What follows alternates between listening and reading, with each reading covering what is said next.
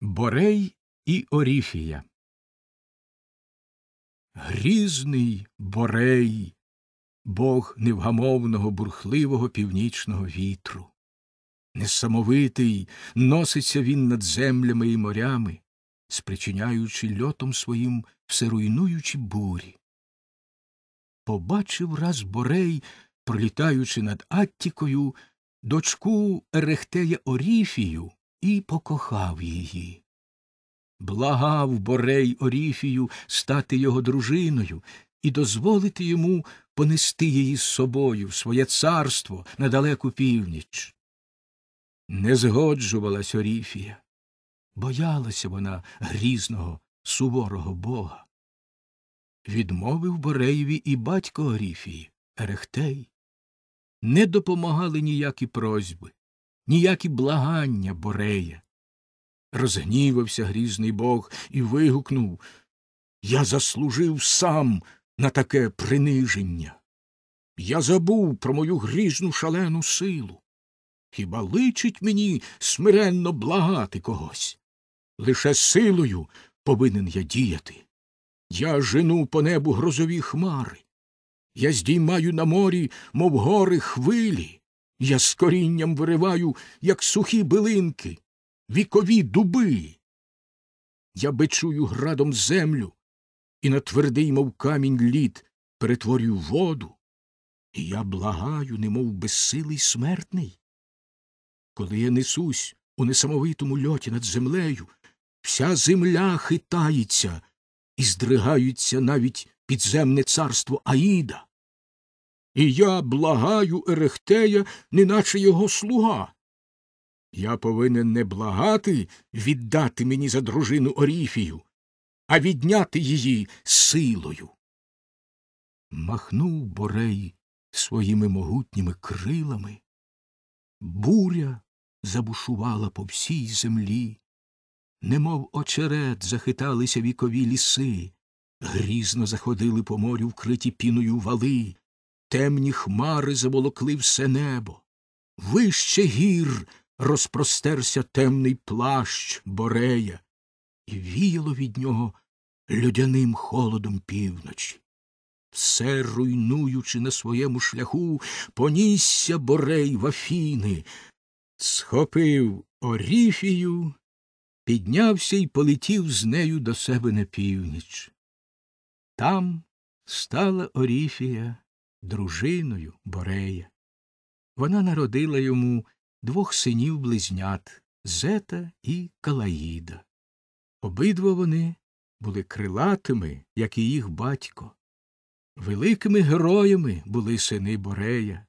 Обидва вони брали участь у поході аргонавтів по золоте руно в Колхіду і зробили багато великих подвигів. Дедал і Ікар викладено за поемою Овідія Метаморфози. Найбільшим митцем, скульптором і зодчим Афін був Дедал, нащадок Ерехтея. Про нього розповідали, що він вирізблював з білосніжного мармуру такі дивні статуї, що вони здавалися живими. Здавалося, що статуї Дедала дивляться і рухаються. Багато інструментів винайшов Дедал для своєї роботи. Ним були винайдені сокира і свердел. Далеко йшла слава про Дедала. У цього великого художника був племінник Тал, син його сестри Пердіки. Тал був учнем свого дядька. Вже в ранній юності вражав він усіх своїм талантом і винахідливістю. Можна було передбачити, що Тал далеко перевищить свого вчителя. Дедал заздрив племінникові і вирішив його вбити. Одного разу Дедал стояв з племінником на високому афінському акрополі біля самого краю скелі. Нікого не було видно кругом. Побачивши, що вони самі, Дедал зіпхнув племінника із скелі. Певний був митець, що його злочин залишиться безкарним. Упавши зі скелі, тал розбився на смерть. Дедал поспішно зійшов з Акрополя, підняв тіло тала і хотів уже таємно закопати його в землю. Але застали дедала афіняни, коли він копав яму. Злочин дедала відкрито. Ареопаг засудив його до страти. Рятуючись від смерті, Дедал утік на кріт до могутнього царя Міноса, сина Зевса і Європи. Мінос охоче прийняв під свій захист великого митця Греції. Багато чудових творів мистецтва виготовив Дедал для царя Кріту. Він збудував для нього і знаменитий палац Лабіринт з такими заплутаними ходами, що раз увійшовши в нього, неможливо було знайти вихід. У цьому палаці Мінос замкнув сина дружини своєї Пасіфаї, жахливого мінотавра, потвору з тілом людини і головою бика. Багато років жив дедал у Міноса. Не хотів відпускати його цар з кріту. Тільки сам він хотів користуватися мистецтвом великого художника. Немов полоненого тримав мінос дедала на кріті. Дедал довго думав, як утекти йому, і нарешті знайшов спосіб визволитися з крітської неволі. Якщо я не можу. вигукнув дедал, урятуватися від влади міноса ні сухопуттю, ні морем, то відкрите ж для мене Небо ось мій шлях. Усім володіє мінос, лише повітрям не володіє він. Взявся до роботи дедал. Він набрав пер, поскріплював їх еняними нитками й воском і почав виготовляти з них чотири великих крила. Поки дедал працював, син його Ікар грався біля батька. То ловив він пух що злітав від подиву вітерця, то м'яв у руках віск. Хлопчик безтурботно грався, його бавила робота батька. Нарешті Дедал скінчив свою працю. Готові були крила. Дедал прив'язав крила за спину, просунув руки в петлі, закріплені на крилах, змахнув ними і плавно піднісся в повітря. З подивом дивився Ікар на батька, який ширяв у повітрі, немов величезний птах. Дедал спустився на землю і сказав синові Слухай, Ікаре, зараз ми полетимо з кріту. Будь обережний під час льоту. Не спускайся дуже низько до моря, щоб солоні бризки хвиль не змочили твоїх крил. Не підіймайся й близько до сонця. Спека може розтопити віск і розлетяться пера. За мною лети, не відставай від мене. Батько з сином одягнули крила на руки і легко полинули.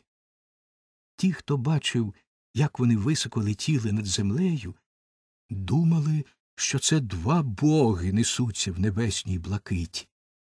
Часто обертався дедал, щоб подивитися, як летить його син. Вони минули вже острови Делос, Парос, і летять усе далі й далі. Швидкий політ бавить Ікара, все сміливіше помахує він крилами. Ікар забув поради батька. Він не летить уже слідом за ним.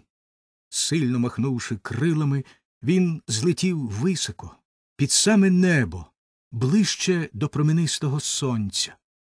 Палаюче проміння розтопило віск, що скріплював пера крил, повипадали пера і розлетілися далеко в повітрі, гнані вітром. Махнув ікар руками, але немає на них більше крил. Стрім голов упав він з страшної височини в море і загинув у його хвилях. Дедал обернувся, дивиться навкруги, немає Ікара. Голосно почав кликати він сина. Ікаре, Ікаре. Де ти? Озвися. Нема відповіді. Побачив дедал на морських хвилях пераз крил Ікара і зрозумів, що трапилось.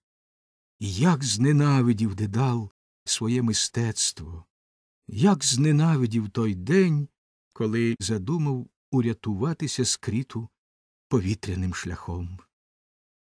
А тіло Ікара довго носилося по хвилях моря, яке стало називатися за іменем загиблого Ікарійським. Нарешті прибили його хвилі до берега острова. Там знайшов його Геракл і поховав. Дедал же летів далі і прилетів нарешті в Сіцілію. Там він оселився у царя Кокала. Мінос дізнався, де заховався митець, вирушив з великим військом у Сіцілію і зажадав, щоб Кокал видав йому дедала. Дочки Кокала не хотіли втратити такого митця, як дедал. Вони вдалися до хитрощів, умовили батька погодитися на вимоги Міноса і прийняли його як гостя в палаці. Коли Мінос приймав ванну, дочки Кокала вилили йому на голову котел окропу. Помер Мінос у страшних муках. Довго жив дедал у Сицилії, а останні роки життя провів на батьківщині в Афінах.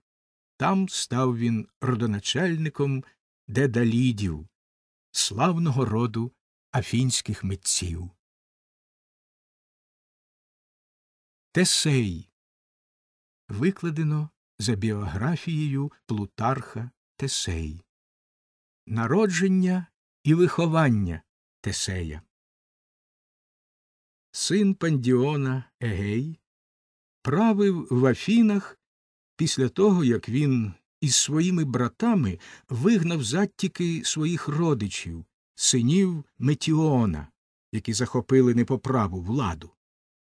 Довго Егей правив щасливо. Засмучувало його тільки одне не було в нього дітей. Нарешті вирушив Егей до оракула Аполлона в Дельфи і там запитав світлосяйного бога, чому боги не посилають йому дітей. Оракул дав Егеєві неясну відповідь. Довго думав він, намагаючись розгадати таємний зміст відповіді, але не міг розгадати його. Нарешті вирішив Егей піти до міста Троїсени, до мудрого царя Арголіди Підфея, щоб той розгадав йому таємницю відповіді Аполлона. Відразу розгадав Підфей зміст відповіді. Він зрозумів, що в Егея має народитися син, який буде найбільшим героєм Афін. Підфеєві хотілося, щоб честь бути батьківщиною великого героя належала Троїсені. Тому він віддав за Егея свою дочку Ефру. І ось народився в Ефри, коли вона стала дружиною Егея, син, але це був син бога Посейдона, а не Егея. Новонародженому дали ім'я Тесей. Незабаром після народження Тесея цар Егей повинен був покинути Троїсену і повернутися в Афіни. Ідучи, взяв Егей свій меч і сандалі, поклав їх під скелю в горах біля Троїсени і сказав Ефрі, коли син мій Тесей матиме силу зрушити цю скелю і дістати мій меч і сандалі, тоді прийшли його з ними до мене в Афіни. Я впізнаю його по моєму мечу і сандалях. До шістнадцяти років виховувався Тесей в домі свого діда Підфея. Знаменитий своєю мудрістю Підфей піклувався про виховання внука і радів бачити, що внук його перевищує в усьому своїх однолітків. Та ось сповнилося Тесеєві шістнадцять років. Уже тоді ніхто не міг зрівнятися з ним ні силою, ні спритністю, ні вмінням володіти зброєю. Прекрасний був Тесей, високий, стрункий, з ясним поглядом чудових очей, з темними кучерями, що пишними кільцями спадали до плечей. Спереду на чолі кучері були обрізані, бо присвятив він їх Аполонові. Юне мускулисте тіло героя виразно говорило про його могутню силу. Подвиги Тесея по дорозі до Афін. Коли Ефра побачила, що її син перевищує силою всіх своїх однолітків, вона привела його до скелі, під якою лежали меч і сандарі Егея, і сказала Сину мій, тут під цією скелею лежить меч і сандалі твого батька, володаря Афін Егея. Зруш скелю і візьми меч і сандалі. Вони будуть тим знаком, за яким спізнає тебе твій батько. Штовхнув Тесей скелю і легко зрушив її з місця. Взяв він меч і сандалі, попрощався з матір'ю і дідом і вирушив у далеку путь в Афіни. Тесей не послухав просьб матері й діда вибрати безпечніший морський шлях. Він вирішив іти в Афіни сухопуттю через істм. Важкий був цей шлях. Багато небезпек довелося подолати Тесеєві в дорозі, багато довелося зробити йому подвигів. Уже на кордоні Троїсени і Епідавра герой зустрів велетня Періфета, сина бога Гефеста. Як і бог Гефест, син його, велетень Періфет, був кульгавий, але могутні були його руки і величезне тіло. Грізний був Періфет. Жоден мандрівник не проходив через ті гори, в яких жив Періфет.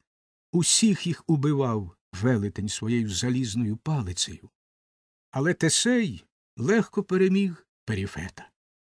Це був перший подвиг героя, і, як знак цієї перемоги, він узяв залізну палицю вбитого ним Періфета. Далі, до самого істму, Тесей ішов, не наражаючись на небезпеки. На істмі, сосновому гаю, присвяченому Посейдонові, Тесей зустрів Сініда, що згинає сосни. Це був запеклий розбійник. Він заподіював страшну смерть усім подорожнім. Зігнувши дві сосни, так, щоб вони торкалися верховіттям, Сінід прив'язував нещасного подорожнього до сосен і пускав їх. Із страшною силою випростувалися сосни і розривали тіло нещасного. Тесей помстився за всіх, кого згубив Сінід. Він зв'язав розбійника, зігнув своїми могутніми руками дві величезні сосни, прив'язав до них Сініда і пустив сосни. Лютий розбійник загинув тією самою смертю, якою він губив ні в чому невинних подорожніх. Шлях через істм був тепер вільний. Пізніше, на пам'ять про свою перемогу, Тесей встановив на тому місці, де він переміг Сініда, істмійські ігри. Дальший путь Тесея йшов через Кроміон. Уся місцевість навколо була спустошена величезною дикою свинею, породженою Тіфоном і Єхідною. Жителі Кроміона благали юного героя врятувати їх від цієї потвори. Тесей наздогнав свиню і вбив її своїм мечем. Рушив Тесей далі. В найнебезпечнішому місці істому, там, де високо до неба здіймалися стрімкі скелі, біля підніжжя яких грізно шуміли пінисті морські вали, Тесей зустрів нову небезпеку. На самому краю скелі жив розбійник Скірон. Він примушував усіх, хто проходив поблизу, мити собі ноги. Тільки схилявся подорожній, щоб вимити ноги Скіронові, як жорстокий розбійник сильним поштовхом ноги скидав нещасного зі скелі в бурхливі хвилі моря, де він розбивався на смерть об гостре каміння, що стриміло з води, а тіло його пожирала жахлива черепаха. Тесей, коли Скірон хотів зіпхнути і його, схопив розбійника за ногу і скинув його самого в море. Недалеко від Елевсіна Тесеєві довелося боротися з Керкіоном, подібно до того, як Гераклові довелося боротися з Антеєм. Могутній Керкіон багатьох згубив, але Тесей, обхопивши Керкіона руками, стиснув його, як у залізних лищатах, і вбив. Звільнив цим Тесей і дочку Керкіона Алопу, а владу над країною Керкіона Тесей віддав синові Алопи і Посейдона Гіппотоонту. Минувши Елевсін і наближаючись уже до долини ріки Кефісу в Аттіці, Тесей прийшов до розбійника Дамаста, якого звичайно називали Прокрустом. Розбійник цей вигадав особливо тяжкий і болісний спосіб катування для всіх, хто приходив до нього. У Прокруста було ложе, на нього примушував він лягати тих, хто потрапляв йому до рук. Якщо ложе було надто довге, Прокруст витягав нещасного до того часу, поки ноги жертви не доторкались до краю ложа. Якщо ж ложе було коротке, то Прокруст обрубував нещасному ноги. Тесей повалив Прокруста самого на ложе. Але ложе, звичайно, було надто коротке для велетня Прокруста, і Тесей убив його так, як убивав злочинець подорожніх. Це був останній подвиг Тесея на шляху до Афін. Тесей не хотів прийти в Афіни заплямованим пролитою кров'ю Сініда, Скірона, Прокруста та інших. Він просив фіталідів особливими релігійними церемоніями очистити його біля вівтаря Зевса Меліхія. Привітно, як гостя прийняли фіталіди юного героя. Вони виконали його просьбу і очистили його від гріха пролитої крові. Тепер Тесей міг іти в Афіни до свого батька Егея. Тесей в Афінах У довгому іонійському одязі, сяючи красою, ішов Тесей по вулицях Афін. Пишні кучері спадали йому на плечі. Юний герой у своєму довгому одязі був швидше схожий на дівчину, ніж на героя, який зробив стільки великих подвигів. Тесеєві довелося проходити повз храм Аполлона, що будувався, на якому робітники виводили вже дах. Робітники побачили героя, прийняли його за дівчину і почали глузувати з нього. Сміючись, кричали робітники Подивіться, он бродить по місту одна без проважатих якась дівчина. Дивіться, як розпустила вона на показ своє волосся, а довгим своїм одягом вона здіймає на вулиці куряву. Розсерджений насміханнями робітників, Тесей підбіг до воза, запряженого волами, випріг волів, схопив віз і кинув його так високо, що він перелетів через голови робітників, які стояли на даху храму. Вжахнулися робітники, які глузували з Тесея, побачивши, що це не дівчина, а юний герой, який має страшну силу. Вони чекали, що жорстоко помститься їм герой за їх глузування. Але Тесей спокійно продовжував свій шлях. Нарешті Тесей прийшов у палац Егея. Він не відкрив відразу старому батькові, хто він, а сказав, що він чужеземець, який шукає захисту. Егей не впізнав свого сина, але зате впізнала його чарівниця Медея. Вона втекла з Корінфа в Афіни і стала дружиною Егея. Хитра Медея, давши обіцянку Егеєві повернути йому чаклуванням молодість, панувала в домі царя Афін, і сам Егей в усьому корився їй. Відразу зрозуміла владолюбна Медея, яка загрожує їй небезпека, якщо дізнається Егей, хто той прекрасний чужоземець, якого прийняв він у своєму палаці. Щоб не позбутися влади, Медея задумала згубити героя. Вона умовила Егея отруїти Тесея, запевнивши старого царя, що юнак вивідач, підісланий ворогами. Старезний, слабий Егей, який боявся, щоб хтось не позбавив його влади, погодився на цей злочин. Під час бенкету Медея поставила перед Тесеєм келих з отруєним вином. Саме в цей момент Тесей вийняв навіщось свій меч. Егей зразу впізнав той меч, який він сам шістнадцять років тому поклав під скелю біля Троїсени. Він глянув на ноги Тесея і побачив на них свої сандалі. Тепер він зрозумів, хто цей чужоземець. Перекинувши келих з отруєним вином, Егей обняв Тесея, свого сина. Медея була вигнана з Афін і втекла з сином Медоном у Мідію.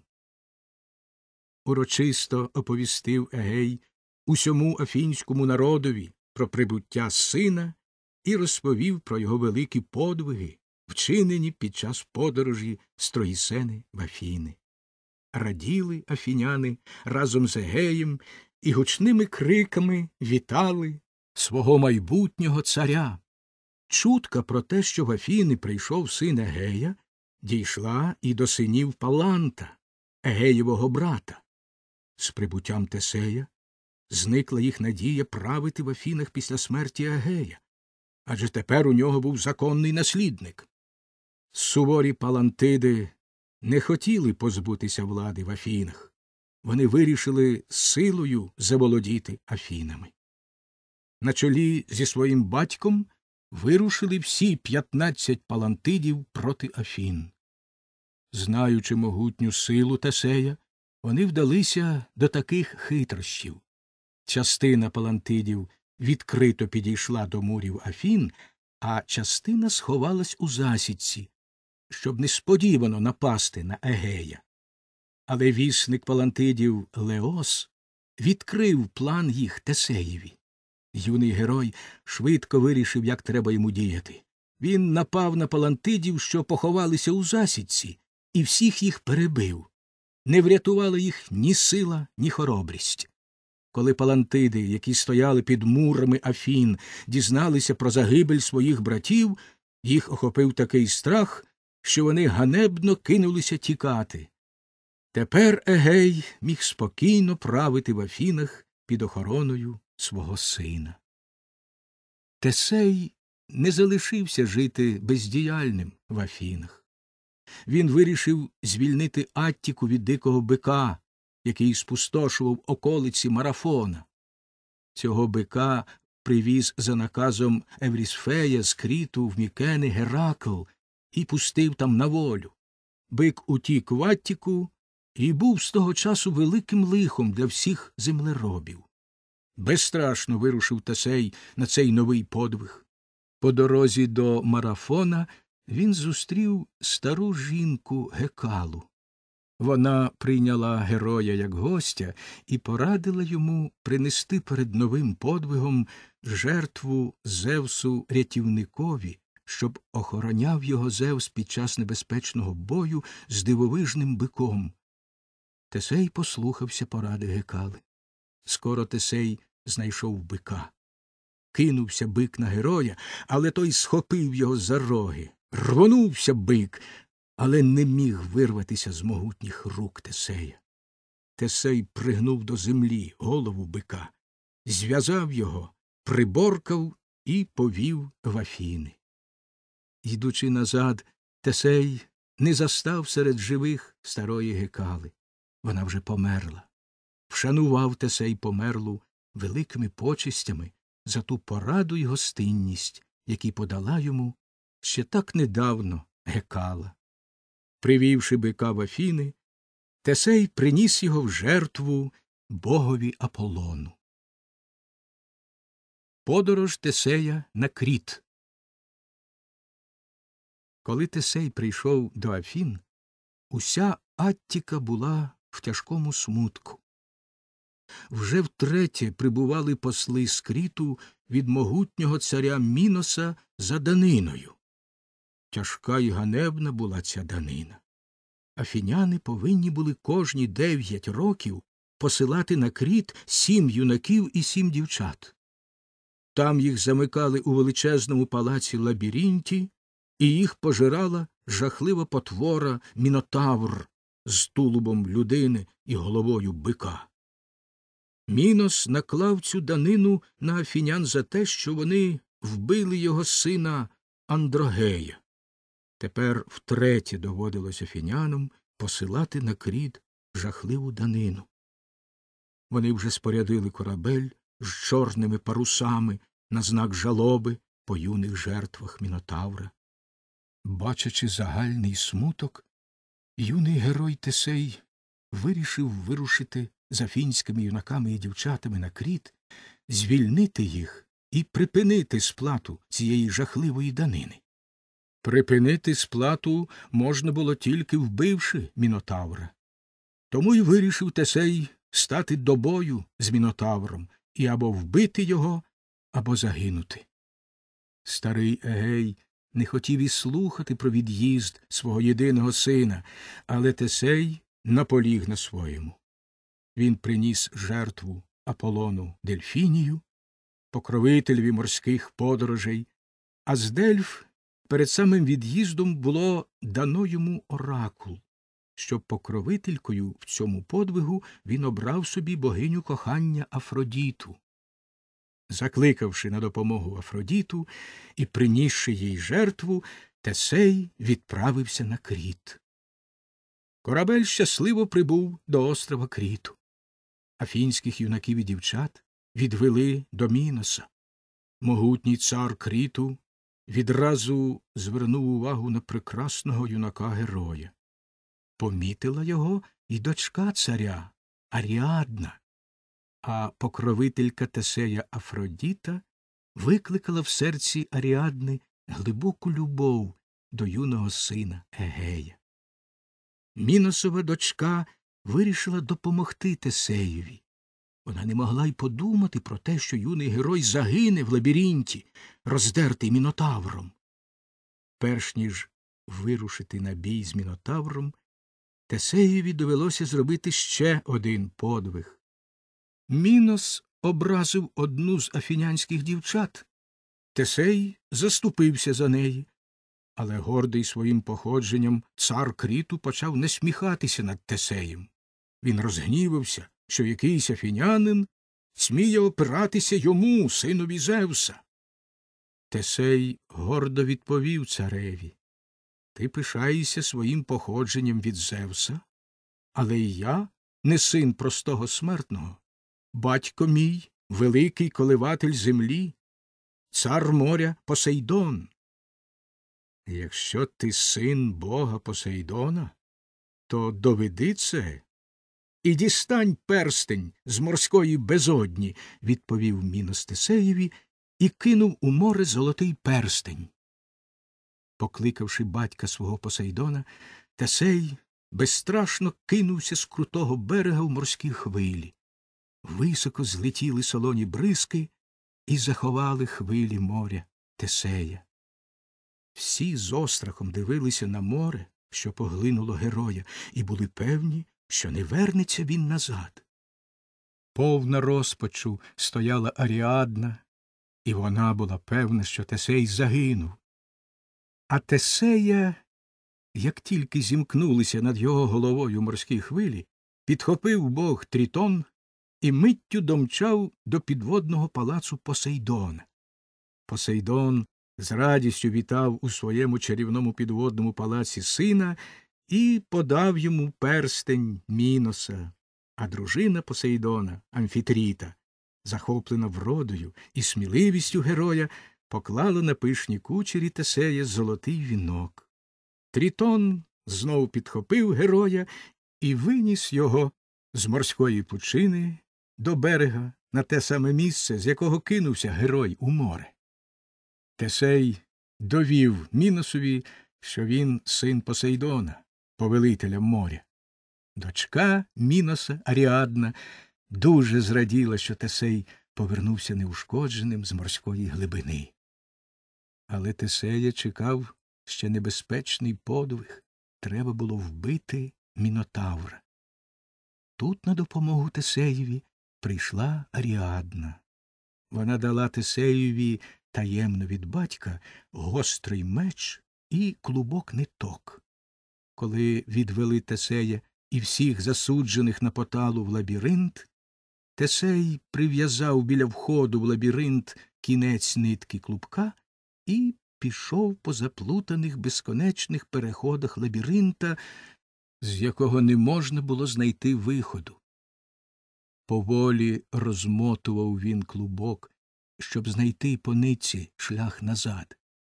Все далі йшов Тесей і нарешті прийшов на те місце, де був мінотавр. З грізним ревом, нахиливши голову з величезними гострими рогами, кинувся мінотавр на юного героя. І почався страшний бій. Мінотавр, сповнений лютості, кілька разів кидався на Тесея, але він відбивав його своїм мечем. Нарешті Тесей схопив мінотавра за ріг і встромив йому в груди свій гострий меч.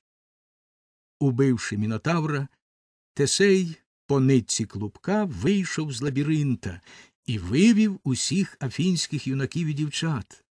Біля виходу їх зустріла Аріадна. Вона радісно вітала Тесея. Дуже раділи юнаки й дівчата, врятовані Тесеєм. Уквітчені вінками з троянд, славлячи героя і його покровительку Афродіту, водили вони веселий танок. Тепер треба було подбати і про врятування від гніву Міноса. Тесей швидко спорядив свій корабель і, прорубавши дно в усіх витягнених на берег кораблях крітян, швидко відправився назад до Афін. Аріадна поїхала з Тесеєм, якого вона дуже полюбила. Вертаючись до Афін, Тесей вийшов на берег Наксосу. Коли Тесей і його супутники відпочивали після подорожі, Тесеєві у сні явився бог вина Діоніс і повідав йому, що він повинен покинути Аріадну на пустельному березі Наксосу, бо боги призначили її за дружину йому, богові Діонісу. Тесей прокинувся і, повний смутку, швидко зібрався в дорогу.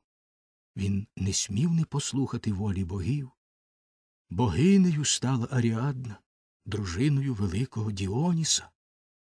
Гучно вітали супутники Діоніса, Аріадну, і славили співом дружину великого бога. А корабель Тесея швидко нісся на своїх чорних парусах по блакитному морю. Ось уже показався вдалині берег Аттіки. Забув Тесей, засмучений втратою Аріадни, дану Егеєві обіцянку замінити чорні паруси білими, якщо він, перемігши мінотавра, щасливо повернеться до Афін. Егей чекав свого сина. Втупивши очі в морську далечінь, він стояв на високій скелі край берега моря. Ось вдалині показалася чорна крапка, вона росте наближаючись до берега. Це корабель його сина. Все ближчає він. Ей, дивиться, напружуючи зір, які на ньому паруси. Ні, не блищать білі паруси на сонці, паруси чорні. Значить, загинув Тесей. В розпачі Егей кинувся з високої скелі в море і загинув у морських хвилях. Тільки його мертве тіло викинули хвилі на берег. З того часу і зветься море, в якому загинув Егей, Егейським. А Тесей причалив до берегів Аттіки і приносив уже богам подячні жертви, як раптом на свій жах дізнався, що став мимовільною причиною смерті батька. З великою пошаною поховав тіло батька, убитий горем Тесей, а після похорону прийняв владу над Афінами. Тесей і Амазонки Тесей мудро правив в Афінах. Але не жив він спокійно в Афінах. Часто він залишав їх для того, щоб узяти участь у подвигах героїв Греції. Так брав участь Тесей в калідонських ловах, у поході аргонавтів по золоте руно і в поході Геракла проти Амазонок. Коли було здобуте місто Амазонок Феміскіра, Тесей повів собою в Афіни як нагороду за хоробрість царицю Амазонок Антіопу. В Афінах стала Антіопа дружиною Тесея. Пишно відсвяткував герой своє весілля з царицею Амазонок. Амазонки задумали помститися грекам за зруйнування їх міста і вирішили визволити царицю Антіопу від тяжкого, як вони гадали, полону в Тесея. Велике військо Амазонок вторглося в Аттіку. Афіняни мусили сховатися від натиску войовничих Амазонок за міські мури. Амазонки вдерлися навіть у саме місто і примусили жителів рятуватися в неприступному Акрополі. Амазонки отаборилися на горбі Ареопагу і тримали в облозі афінян. Кілька разів робили вилазки афіняни, намагаючись вигнати грізних войовниць. Нарешті відбувся рішучий бій. Сама Антіопа билася поряд з Тесеєм проти тих самих амазонок, над якими раніше вона панувала. Антіопа не хотіла покинути героя чоловіка, якого вона палко любила. В цій грізній битві загибель чекала Антіопу. Блиснув у повітрі, кинутий однієї з амазонок спис, його смертоносне вістря вп'ялося в груди Антіопи, і вона мертва впала до ніг свого чоловіка. З жахом дивились обидва війська на вбиту Антіопу. Схилився вгорі Тесей над тілом дружини. Припинено було кривавий бій. Сповнені скорботи поховали амазонки й афіняни молоду царицю. Амазонки покинули Аттіку і повернулися до себе на батьківщину. Довго панував смуток в Афінах по передчасно померлій прекрасній Антіопі. Тесей і Пейріфой У Фесалії жило плем'я войовничих лапіфів, над якими царював могутній герой Пейріфой. Він чув про велику хоробрість і силу непереможного Тесея і хотів помірятись з ним силою. Щоб викликати Тесея на бій, вирушив Періфой до марафона, і там, на буйних пасовищах, викрав череду биків, що належала Тесеєві. Як тільки дізнався про це Тесей, зараз же пустився навздогін за викрадачем і швидко наздогнав його. Зустрілись обидва герої, одягнені в блискучі доспіхи. Стояли вони один проти одного, подібні до грізних безсмертних богів. Обидва вони були вражені величчю один одного. Обидва однаково сповнені були відваги, обидва були могутні, обидва прекрасні.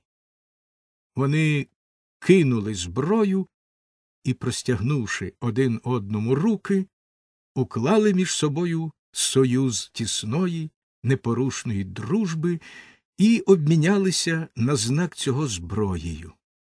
Так стали друзями два великих герої Тесей і Пейріфой. Незабаром після цієї зустрічі вирушив Тесей у Фесалію на весілля свого друга Пейріфоя з Гіподамією. Пишне було це весілля. Багато славних героїв зібралося на нього з усіх кінців Греції. Були запрошені на весілля і дикі кентаври, напівлюди, напівконі. Багатий був весільний бенкет. Увесь царський палац був повний гостей. Усі возлежали за бенкетними столами, а частина гостей бенкетувала у великому прохолодному гроті, бо в палаці не було досить місця для всіх, що зібралися на весілля. Курились пахощі, лунали весільні гімни й музика, голосно розлягалися веселі вигуки бенкетників, славили всі гості молодого й молоду, яка сяяла серед усіх своєю вродою, мов небесна зірка. Весело бенкетували гості, вино лилося рікою, все голосніше лунали бенкетні поклики, раптом скочив сп'янілий від вина наймогутніший і найдикіший з кентаврів Евріт і кинувся на молоду. Він схопив її своїми могутніми руками і хотів викрасти. Побачивши це, і інші кентаври кинулися на жінок. Кожен з них хотів заволодіти здобиччю. Скочили за бенкетних столів Тесей, Пейріфой та грецькі герої і кинулися захищати жінок. Перервано бенкет, почався запеклий бій. Не зброєю билися герої з кентаврами, неозброєними прийшли вони на бенкет. Все було зброєю в цій битві важкі келихи, великий посуд для вина, ніжки поламаних столів, триножники, на яких щойно курилися пахощі. Все пущено в хід. Крок за кроком витісняють герої з бенкетного залу диких кентаврів, але й поза залом триває бій. Тепер б'ються вже грецькі герої із зброєю в руках, прикрившись щитами. Кентаври ж виривають з корінням дерева, цілі скелі кидають вони на герою. Попереду героїв б'ється Тесей, Пейріфой, Пелей і Нестор, син Пелея. Кривава гора з тіл кентаврів усе вищою стає біля них, падають один за одним убиті кентаври. Нарешті подалися вони, кинулися тікати і поховались у лісах високого пеліону. Герої Греції перемогли диких кентаврів. Небагато врятувалося їх з жахливої битви. Викрадення Єлени Тесей і Пейріфой зважуються викрасти Персифону. Смерть Тесея Недовго жила прекрасна дружина Пейріфоя Гіподамія. Вона померла у повному розквіті своєї краси. Овдовілий Пейріфой, оплакавши свою дружину, через деякий час надумав знову женитися. Він відправився до свого друга Тесея в Афіни, і там вирішили вони викрасти прекрасну Єлену. Вона була ще зовсім юною дівчинкою, але слава про її красу гриміла далеко по всій Греції. Таємно прибули друзі до Лаконії, і там викрали Єлену, коли вона весело танцювала зі своїми подругами під час свята Артеміди. Тесей і Пейріфой схопили Єлену і швидко понесли її до гір Аркадії, а звідти через Корінф і Істм привезли в Аттіку до фортеці Афін. Кинулися спартанці в погоню, але не могли наздогнати викрадачів. Заховавши Єлену в місті Афінах, в Аттіці, друзі кинули жереб, кому з них має належати чудова красуня. Жереб випав Тесеєві.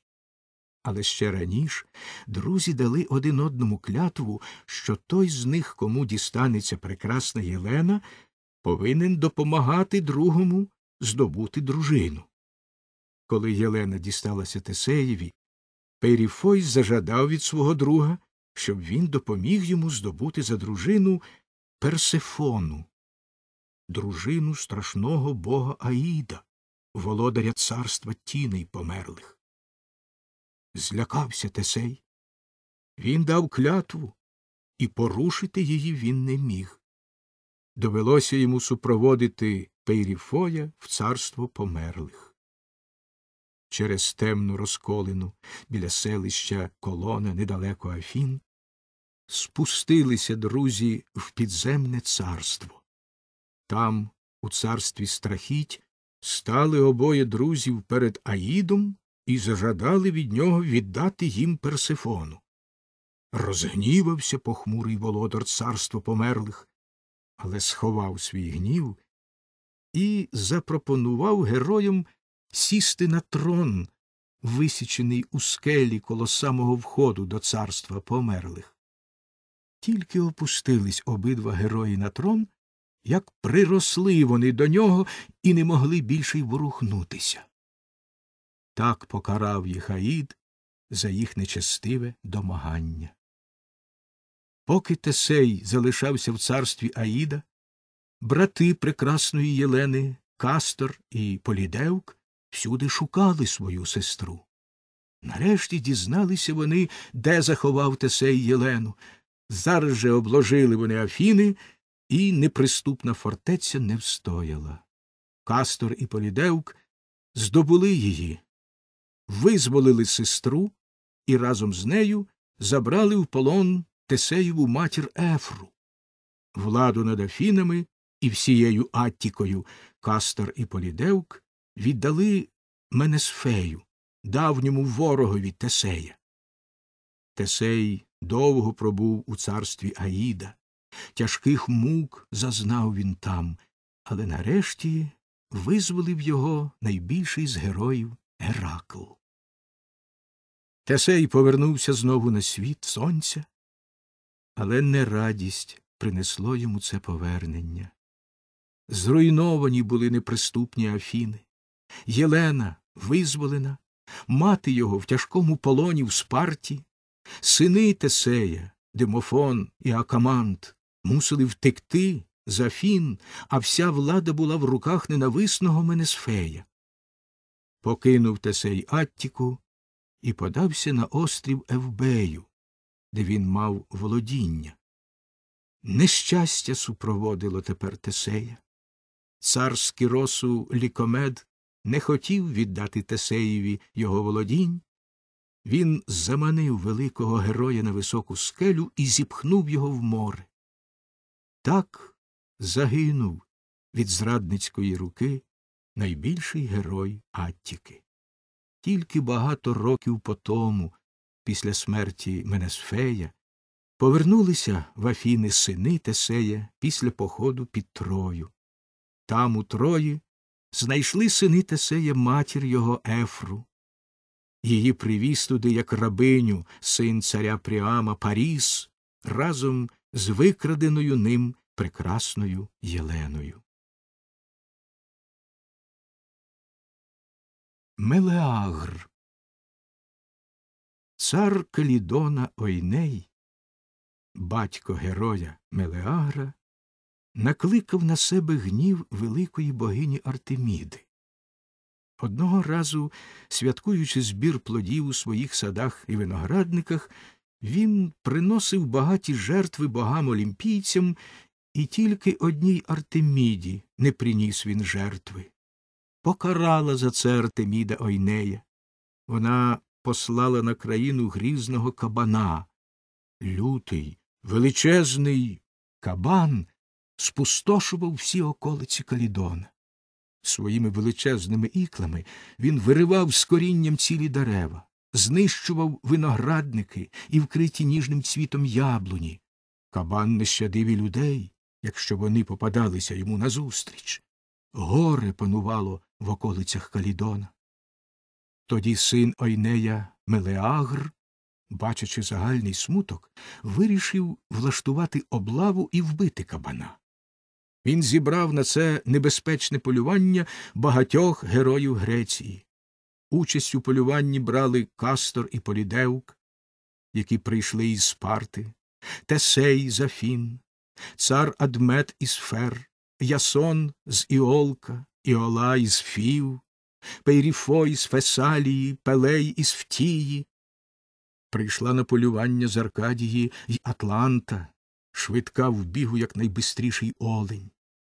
Вона була вихована в горах. Батько Атланти звелів віднести її в гори зараз же після її народження, бо він не хотів мати дочок. Там, в ущелині, вигодувала Атланту ведмедиця, а виросла вона серед мисливців. Як мисливиця була рівна Атланта самій Артеміді. Дев'ять днів бенкетували герої, що зібралися у гостинного Ойнея. Нарешті вони вирушили полювати на кабана. Навколишні гори сповнилися гучним гавканням численних собачих зграй. Собаки підняли величезного кабана і погнали його. Ось показався гнаний собаками кабан, який мчав вихором. Кинулися до нього мисливці. Кожен з них поспішав влучити в кабана своїм списом. Але тяжка була боротьба з величезним кабаном. Не один з мисливців пізнав силу його страшних іклів. На смерть убив кабан своїми іклами безстрашного мисливця, аркадця Анкея. Коли він, замахнувшись своєю двогострою сокирою, хотів забити кабана. Тоді Атланта напнула свій тугий лук і пустила в кабана гостру стрілу. В цю мить підоспів і Мелеагр. Могутнім ударом списа убив він величезного кабана. Скінчилося полювання, всі раділи удачі. Але кому ж присудити нагороду? Багато героїв брало участь у полюванні. Багато з них поранило кабана своїми гострими списами. Виникла суперечка за нагороду, а богиня Артеміда, гніваючись на Мелеагра за те, що він убив її кабана, ще дужче роздувала суперечку. Ця суперечка привела нарешті до війни між етолянами, жителями Калідона, і куретами, жителями сусіднього міста Плеврона. Поки могутній герой Мелеагр бився в рядах етолян, на їх боці була перемога. Якось у запалі бою Мелеагр убив брата своєї матері Алфеї. Засмутилась Алфея, дізнавшись про загибель улюбленого брата. Люто розгнівалася вона, коли довідалася, що брат її загинув від руки її сина Мелеагра. В гніві на сина Алфея благала похмурого царя Аїда і дружину його Персифону покарати Мелеагра. В нестямі закликала вона месниць Еріній почути її благання. Мелеагр розгнівався, дізнавшись про те, що мати накликала загибель на нього, свого сина, і віддалився від бою. Він сидів сумний, схиливши голову на руки в покої дружини своєї, прекрасної Клеопатри. Тільки покинув битися Мелеагр у рядах етолян, як перестала супроводити їх перемога. Почали перемагати курети. Вони обложили вже багатий калідон. Загибель загрожувала калідону. Даремно благали Мелеагра старі мужі Калідона повернутися в ряди війська. Вони пропонували героєві велику нагороду.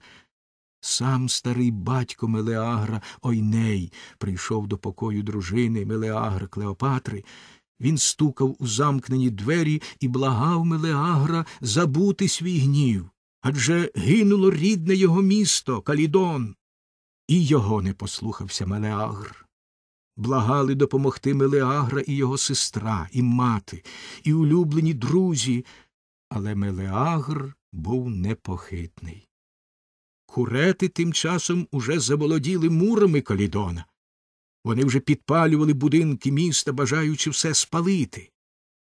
Нарешті стряслися від ударів і стіни покоїв, де перебував Мелеагр. Тоді юна дружина його, охоплена жахом, кинулася перед ним на коліна і почала благати чоловіка врятувати місто від загибелі. Вона благала його подумати про ту лиху долю, яка спіткає місто і переможених, подумати про те, що переможені заберуть жінок і дітей в тяжке рабство. Невже ж він хоче, щоб така доля спіткала і її? Могутній Мелеагр зглянувся на благання своєї дружини. Він швидко одягся в блискучий панцир, оперезався мечем, узяв у руки свій величезний щит і спис, кинувся Мелеагр у бій, відбив куретів і врятував рідний Калідон. Але смерть чекала на самого Мелеагра. Почули боги царства тіней померлих, благання й прокльони Алфеї. Впав Мелеагр, вбитий на смерть у бою, золотою стрілою далеко разячого бога Аполлона, і відлетіла душа Мелеагра в сумне царство тіней. Кіпаріс викладено за поемою Овідія Метаморфози. На острові Кеосі в Карфейській долині був олень, присвячений німфам. Чудовий був цей олень. Гіллясті його роги були визолочені, перлове намисто прикрашало його шию, а з вух спускалися дорогоцінні оздоби. Олень зовсім забув страх перед людьми. Він заходив у будинки селян і охоче простягав шию всякому, хто хотів його погладити. Всі жителі любили цього оленя, але найдужче любив його юний син царя Кеоса Кіпаріс, улюблений друг стріловершця Аполлона.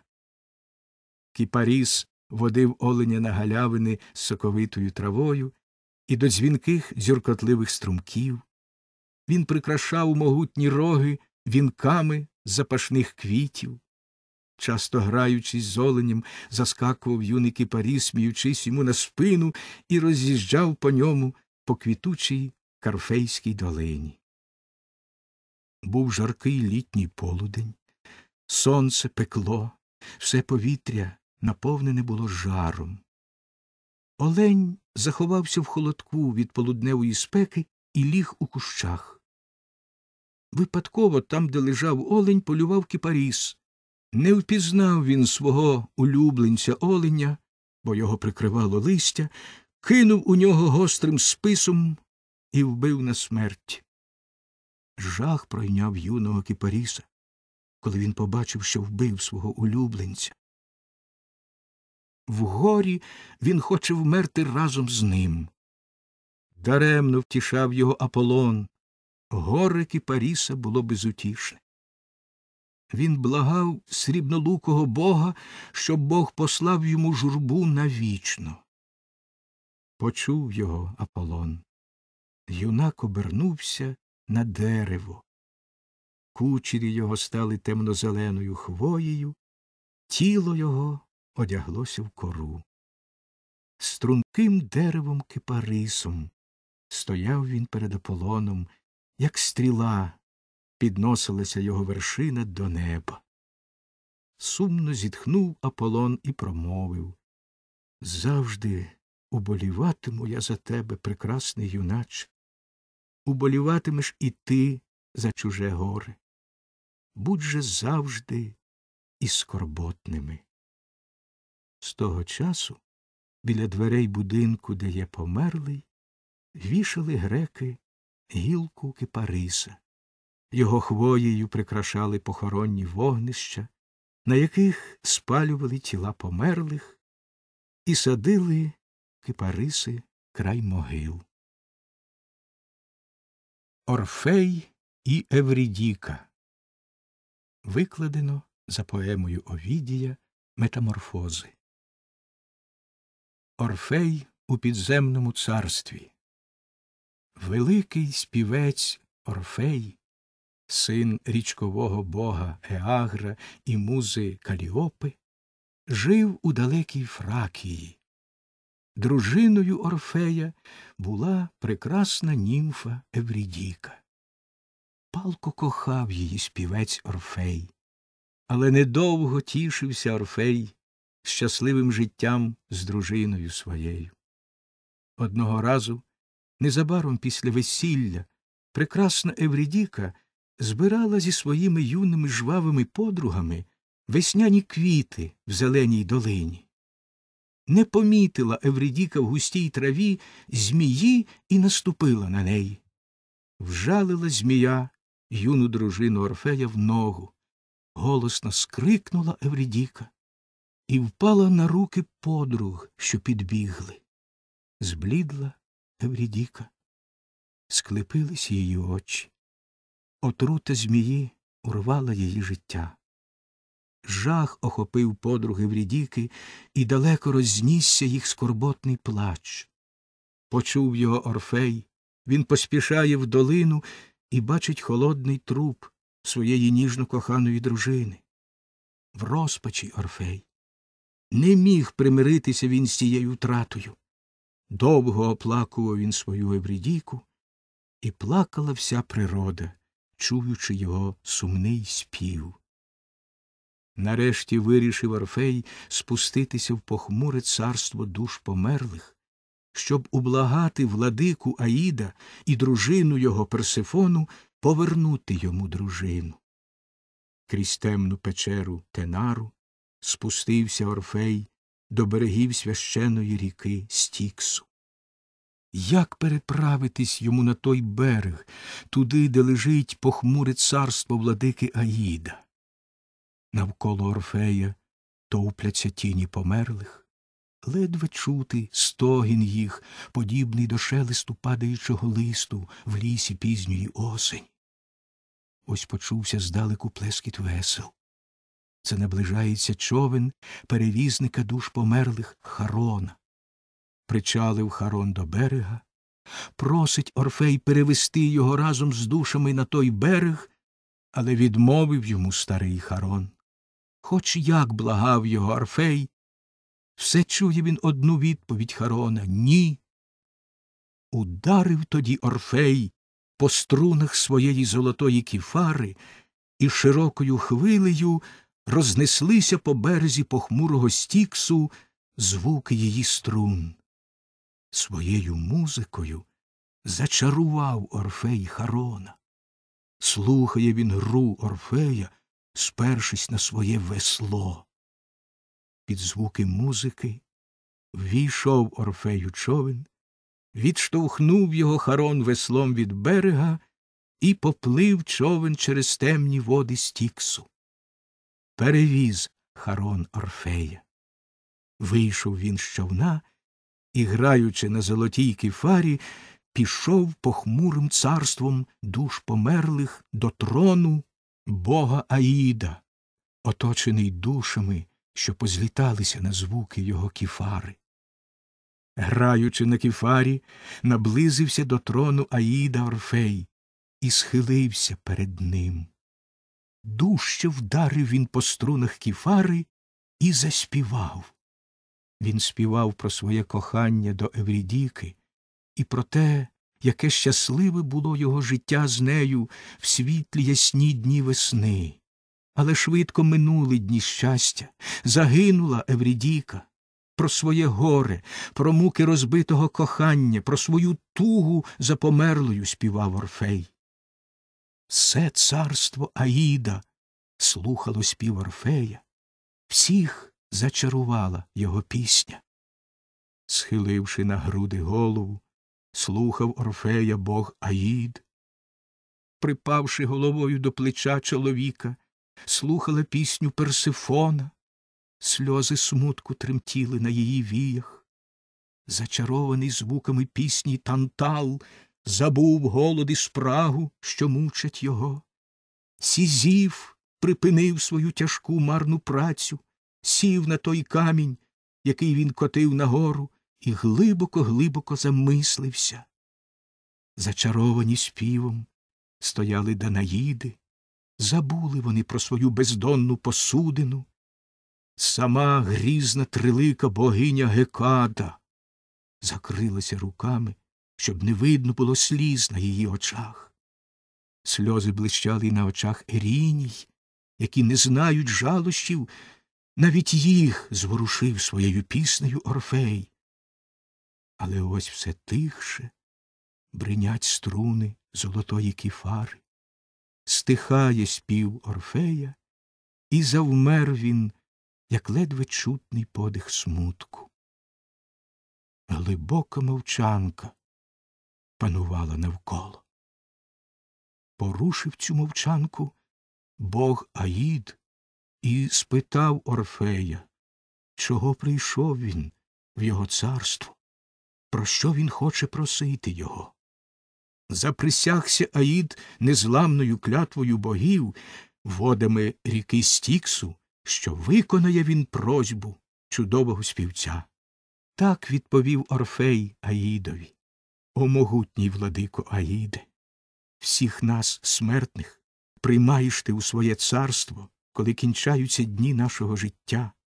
Не для того прийшов я сюди, щоб дивитися на ті страхіття, які сповнюють царство твоє, не для того, щоб повести з собою, як Геракл, стража твого царства, триголового Кербера.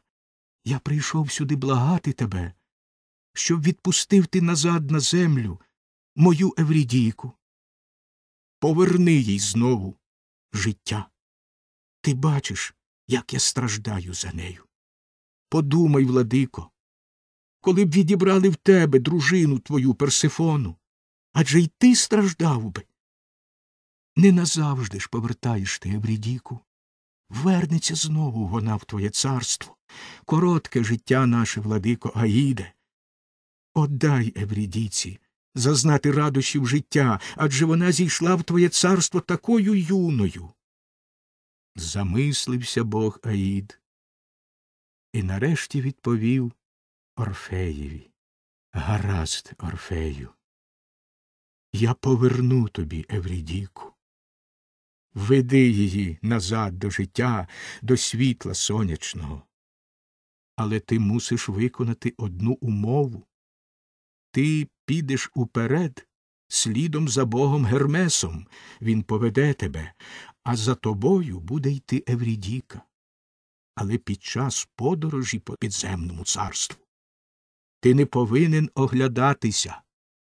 Пам'ятай, оглянешся, і зараз же покине тебе Еврідіка і повернеться назавжди в моє царство. На все був згоден Орфей. Поспішає він швидше йти назад. Привів швидкий, мов думка Гермес, тінь Еврідійки. З захопленням дивиться на неї Орфей. Хоче Орфей обняти тінь Еврідійки, але зупинив його бог Гермес, промовивши Орфею.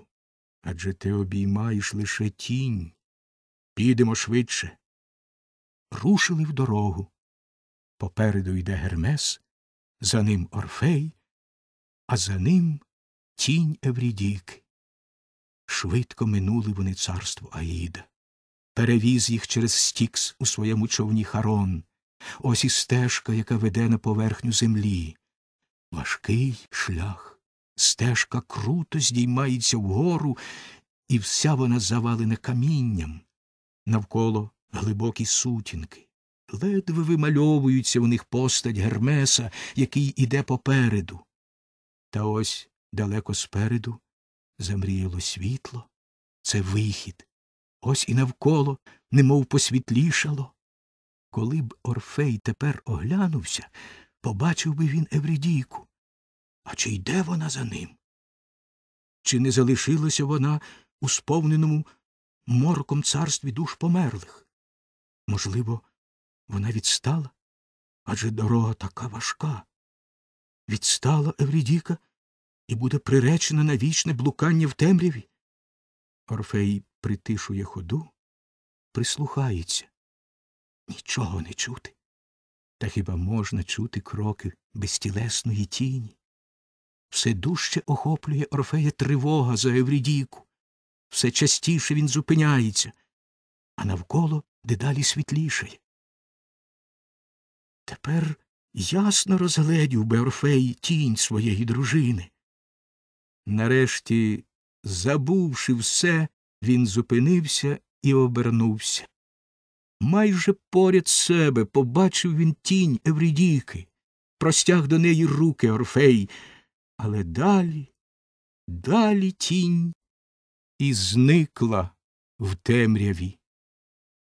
Немов скам'янілий стояв Орфей, йому довелося пережити вдруге смерть Еврідіки, а винуватцем цієї другої смерті був він сам. Довго стояв Орфей. Здавалося, життя покинуло його, здавалося, що це стоїть мармурова статуя.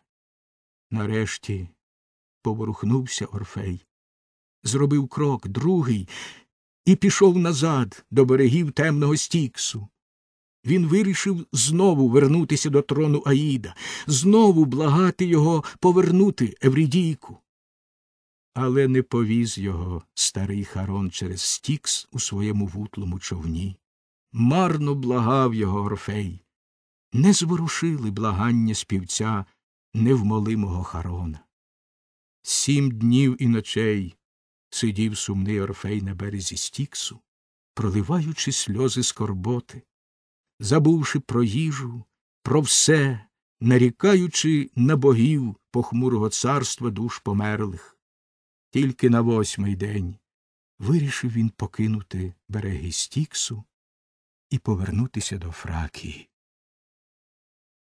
Смерть Орфея Чотири роки минуло після смерті Еврідіки, але залишався, як і раніше, вірний їй Орфей. Він не хотів одружуватися з жодною жінкою Фракії. Одного разу на провесні, коли на деревах пробивалася перша зелень, сидів великий співець на невисокому горбі. Біля ніг його лежала його золота кіфара. Підняв її співець, тихо вдарив по струнах і заспівав. Уся природа заслухалась дивного співу. Така сила звучала в пісні Орфея, так покоряла вона й вабила до співця, що навколо нього, як зачаровані, стовпилися дикі звірі, покинувши навколишні ліси й гори. Птиці злетілися слухати співця. Навіть дерева зрушились з місця і оточили Орфея. Дуб і тополя, струнки, кипариси і широколисті платани, сосни і ялини товпилися навколо і слухали співця. Жодна гілка, жоден листок не тремтів на них. Уся природа, здавалося, зачарована була чудовим співом і звуками кіфари Орфея. Раптом залунали вдалині гучні поклики, дзвін тимпанів і сміх. Це кіконські жінки справляли веселе свято шумного вакха. Все ближчають вакханки. Ось побачили вони Орфея, і одна з них голосно вигукнула Ось він, ненависник жінок. Махнула вакханка тирсом і кинула ним в Орфея. Але плющ, що обвивав тирс, захистив співця. Кинула друга вакханка каменем в Орфея, але камінь, переможений чарівним співом, упав до ніг Орфея, немов благаючи прощення. Все дужче лунали навколо співця крики вакханок, голосніше звучали флейти і гучніше гриміли тимпани. Шум свята вакха заглушив співця. Оточили Орфея вакханки, налетівши на нього, мов зграя хижих птахів. Градом полетіли в співця тирса й каміння. Марно благає пощади Орфей, але його, голосу якого корилися дерева й скелі, не слухають несамовиті вакханки. Скривавлений, упав Орфей на землю, відлетіла його душа, а вакханки своїми закривавленими руками розірвали його тіло. Голову Орфея і його кіфару кинули вакханки в бистрі води ріки Гебру. І, о чудо! Струни кіфари, яку відносили хвилі ріки, тихо бринять, мов нарікають на загибель співця, а їм сумно відповідає берег. Уся природа оплакувала Орфея, плакали дерева і квіти, плакали звірі й птахи, і навіть німі скелі плакали, а ріки стали многоводнішими від сліз, які проливали вони. Німфи і дріади на знак жалоби розпустили своє волосся і понадягали темний одяг. Все далі й далі відносив гебр голову і кіфару співця до широкого моря, а морські хвилі принесли кіфару до берегів Лесбосу. З того часу бринять звуки чарівних пісень на Лесбосі, а золоту кіфару Орфея боги помістили на небі серед сузір'їв. Душа Орфея зійшла в царство тіней і знову побачила ті місця, де шукав Орфей свою Еврідіку. Знову зустрів великий співець тінь Еврідіки і з любов'ю обійняв її. Відтоді вони могли бути нерозлучні. Блукають тіні Орфея і Еврідіки по похмурих полях, зарослих асфоделами. Тепер Орфей безбоязно може обернутися, щоб поглянути, чи йде за ним Еврідіка. Гіацінт Викладено за поемою Овідія Метаморфози.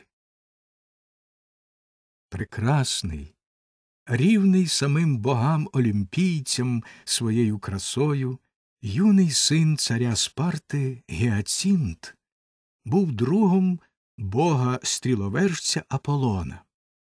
Часто з'являвся Аполлон на берегах Евроту Спарту, і там проводив з ним час, полюючи по схилах гір у густо зарослих лісах або розважаючись гімнастикою, в якій були такі вправні спартанці. Одного разу, коли наближався вже жаркий полудень, Аполлон і Гіацинт змагались у метанні важкого диска. Все вище й вище злітав до неба бронзовий диск. Ось, напруживши сили, кинув диск могутній бог Аполлон.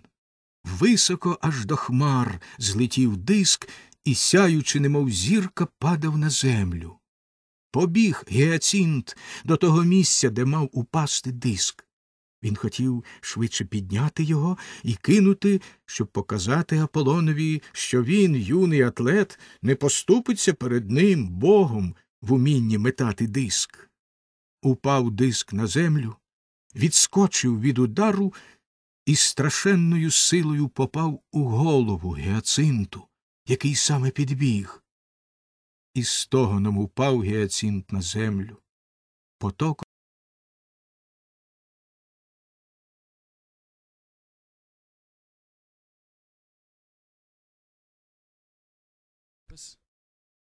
Підбіг зляканий Аполлон. Схилився він над своїм другом, підняв його, поклав закривавлену голову собі на коліна і намагався спинити кров, що бігла з рани. Але все марно. Блідне гіацинт. Тьмяніють завжди такі ясні очі гіацинта, безсило схиляється його голова, подібно до віночка польової квітки, щоб я не від палючого південного сонця в розпачі вигукнув Аполлон.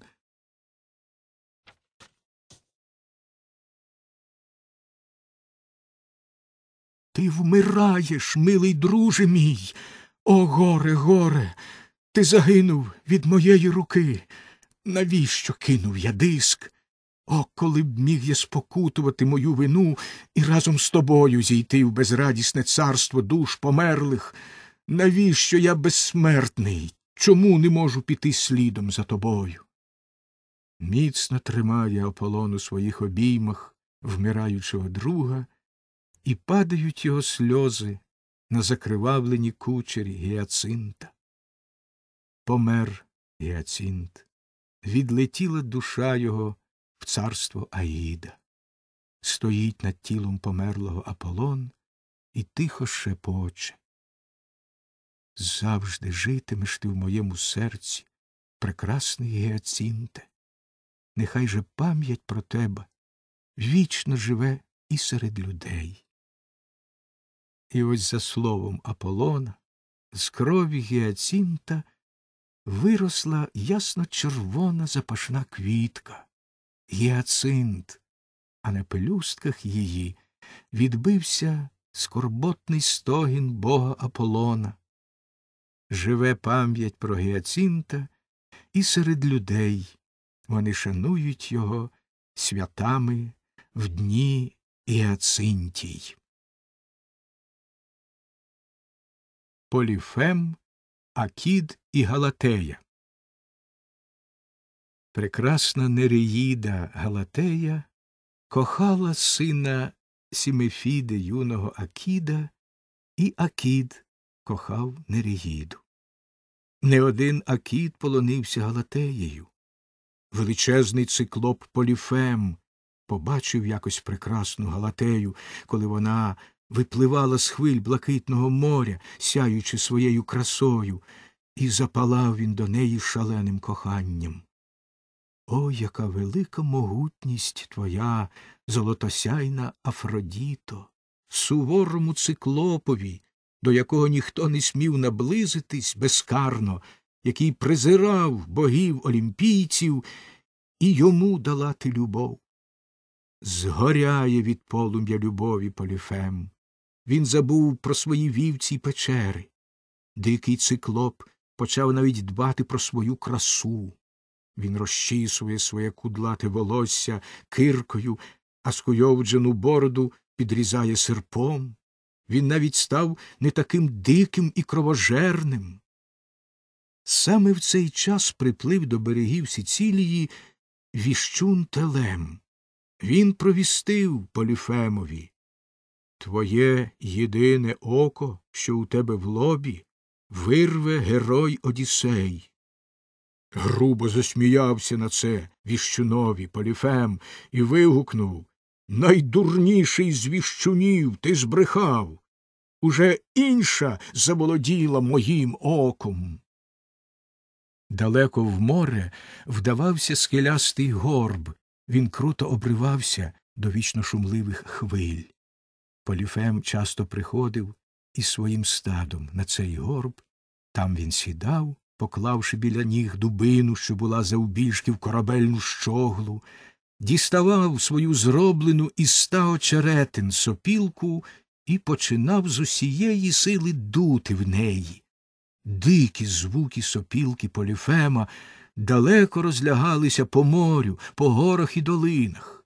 Долітали вони і до Акіда з Галатеєю, які часто сиділи в прохолодному гроті на морському березі, недалеко від горба. Грав на сопілці Поліфем і співав.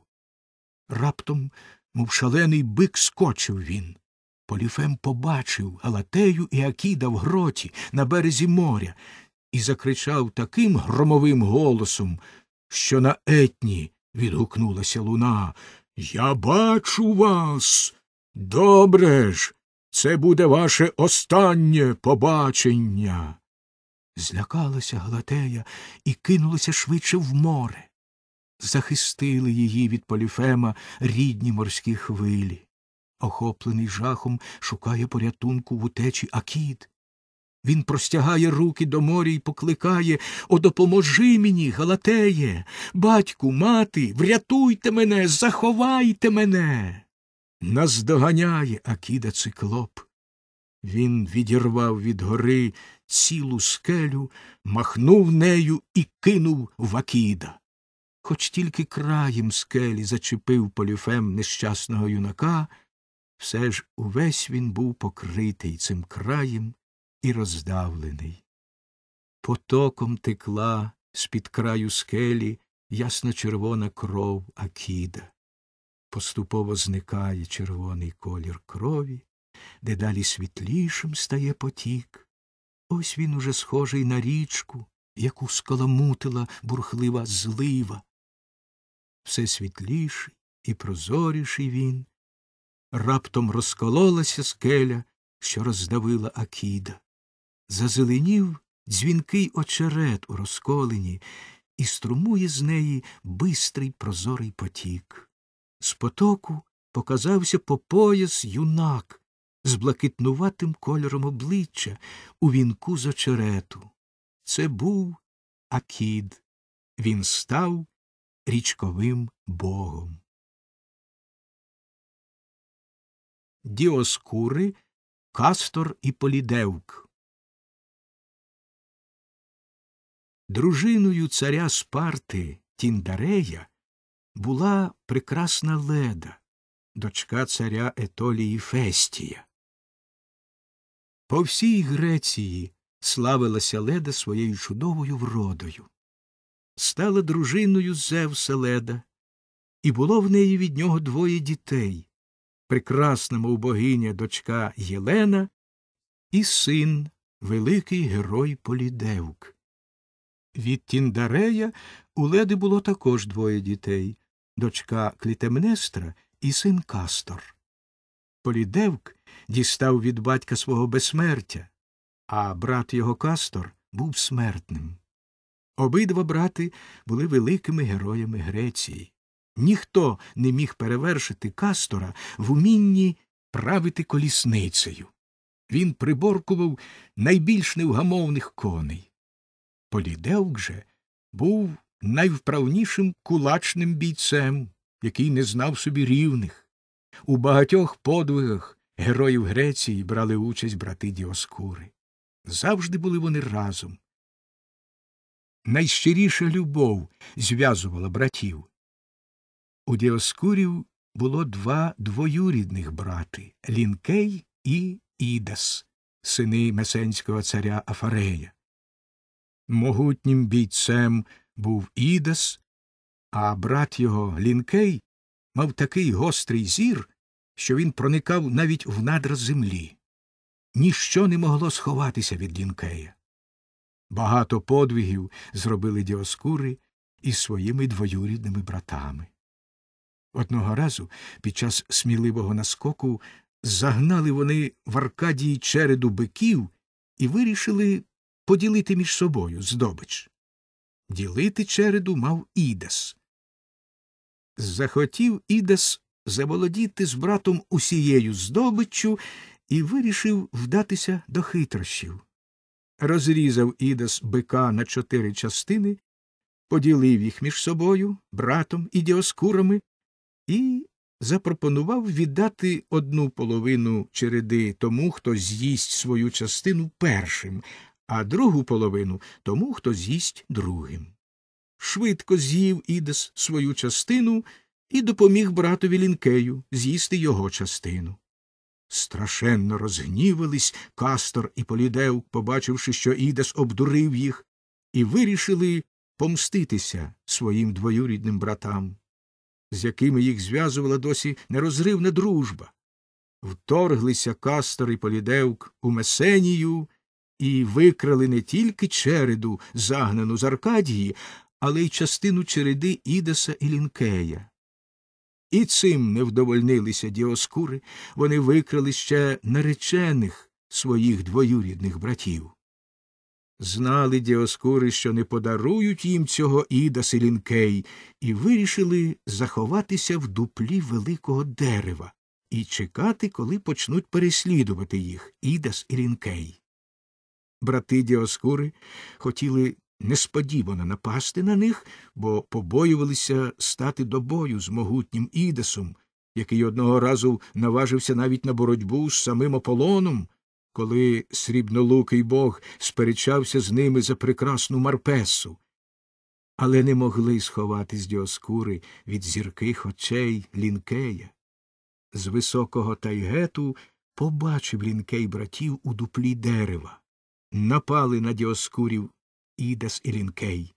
Перш ніж вони встигли вийти з засідки, Ідес ударив своїм списом у дерево і пронизав груди кастора. Кинувся на них полідевк. Не витримали його натиску, а фареїди і кинулися тікати. Біля могили їх батька наздогнав їх полідевк. Він вбив лінкея і почав смертний бій з Ідесом. Але Зевс припинив цей поєдинок, він кинув вогненну блискавку і нею спопилив і Ідеса, і труп лінкея. Повернувся полідевк туди, де лежав смертельно поранений кастор. Гірко плакав він, бачачи, що смерть розлучає його з братом. Почав благати тоді полідевк батька свого Зевса і просив дати і йому померти разом з братом. З'явився громовержець своєму синові і дав йому на вибір або жити вічно юним у сонмі світлих богів на Олімпі, або ж жити разом з братом один день у похмурому царстві Аїда, другий на світлому Олімпі. Не захотів Полідевк розлучатися з братом і вибрав спільну з ним долю. З того часу брати один день блукають по похмурих полях царства тіней померлих, а другий день живуть разом з богами в палаці егідодержавного Зевса. Шанують греки братів Діоскурів як богів. Вони захисники в усіх небезпеках, вони захищають людей в дорозі, як на чужині, так і на батьківщині. Атрей і Фієст Синами великого героя Пелопса були Атрей і Фієст. Прокляв колись Пелопса візничий царя Еномая Міртіл і прирік своїм прокляттям на великі злочини і загибель увесь рід Пелопса. Тяжіло прокляття Міртіла і над Атреєм та Фієстом. Ряд злочинів зробили вони. Згубили Атрей і Фієст Хрісіпа, сина німфи Аксіони і батька їх Пелопса. Це мати Атрея і Фієста, Гіподамія, умовила вбити Хрісіпа. Вчинивши цей злочин, утекли брати з царства батька, боячись його гніву, і сховалися в царя Мікен Сфенела, сина Персея, який одружений був з сестрою їхньою Нікіппою. Коли ж помер Сфенел, і син його Еврісфей, захоплений у полон Іолаєм, загинув від руки матері Геракла Алкмени, почав панувати над Мікенським царством Атрей, бо Еврісфей не лишив після себе нащадків. Заздрив Атреєві брат його Фієст і вирішив будь що відібрати в нього владу. Він викрав у свого брата з допомогою Атреєвої дружини Аеропи подарованого йому богом Гермесом золоторунного овна. Викрив цього овна Фієс тому, що сказано було богами панувати над мікенами буде той, кому належить золоторунний овен.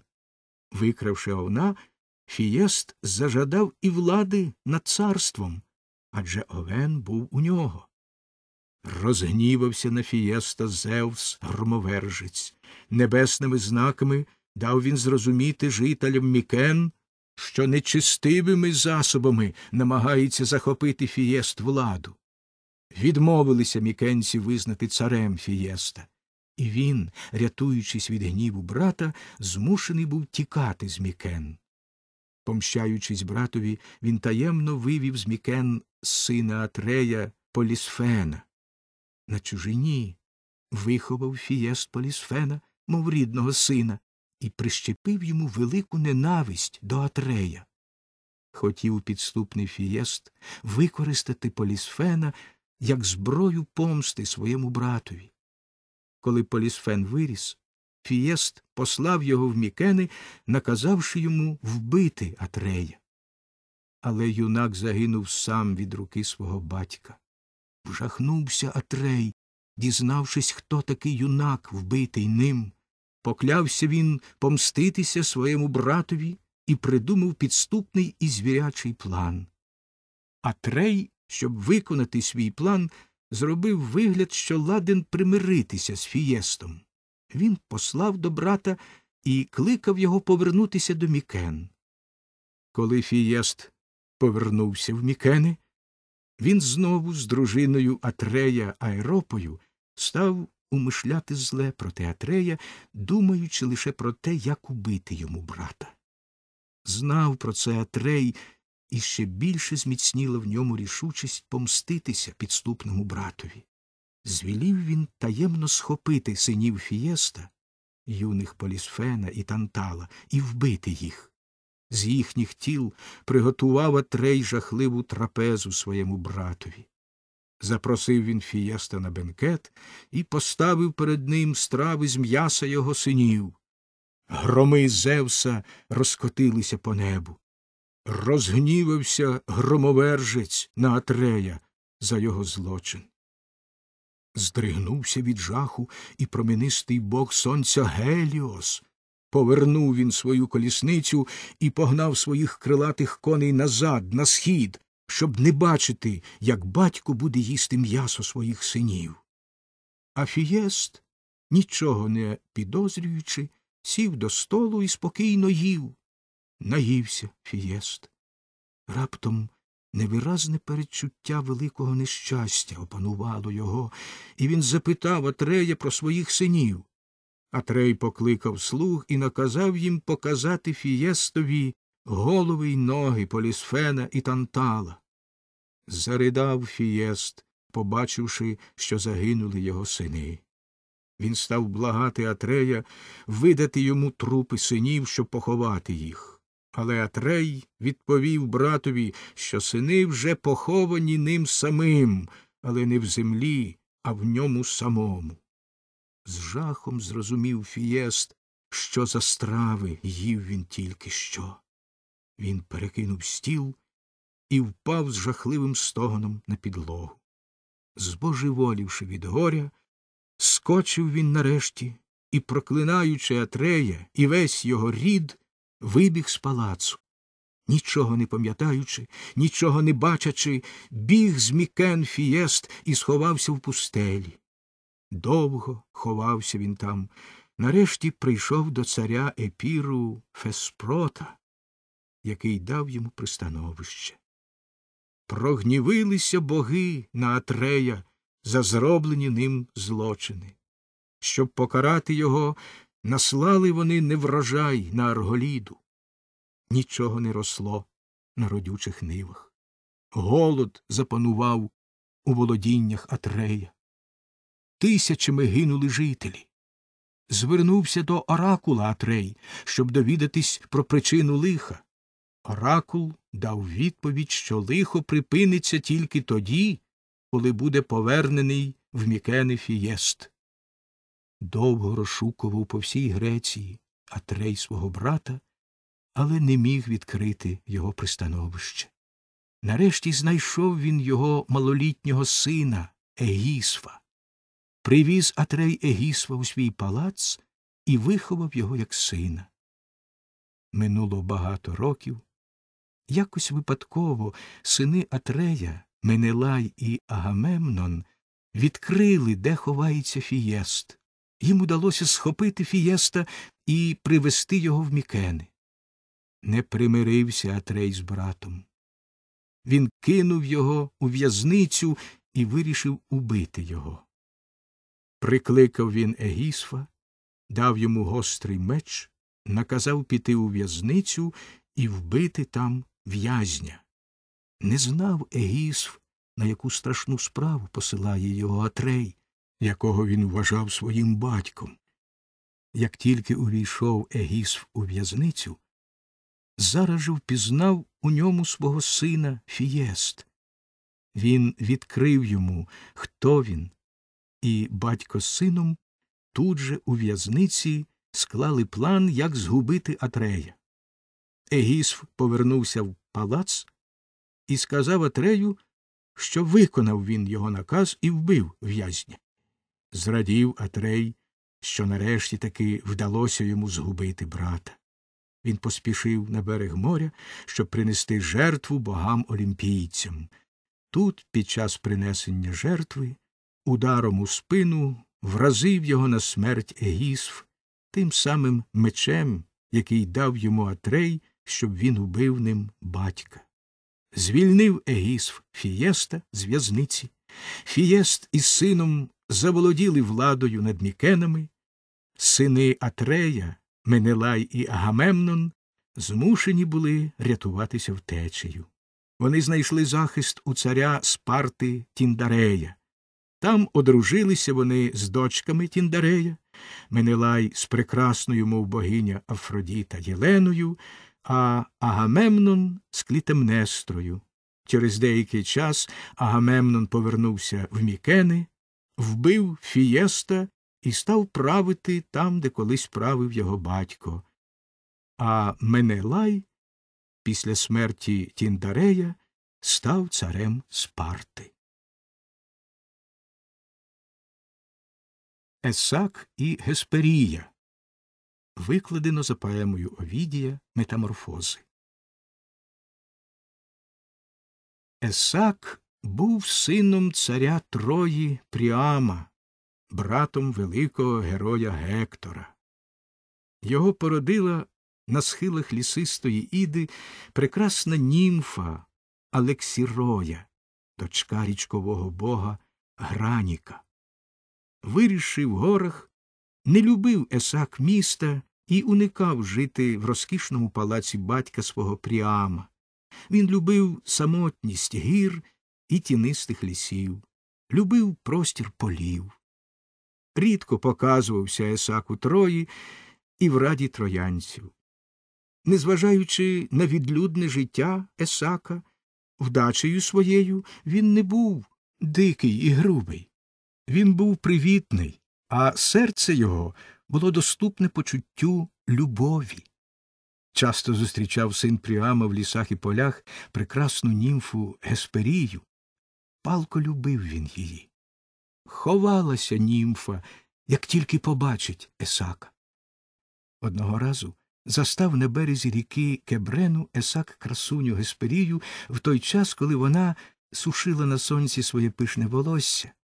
Побачила німфа юнака, злякалась і кинулася втікати від нього. Погнався за нею Есак. Раптом змія, що сховалася у траві, вжалила німфу в ногу, і отрута зміїних зубів залишилась у рані. Разом з життям скінчилася втеча.